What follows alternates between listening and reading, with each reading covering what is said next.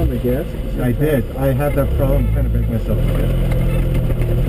Is uh, I don't have my foot on the brake completely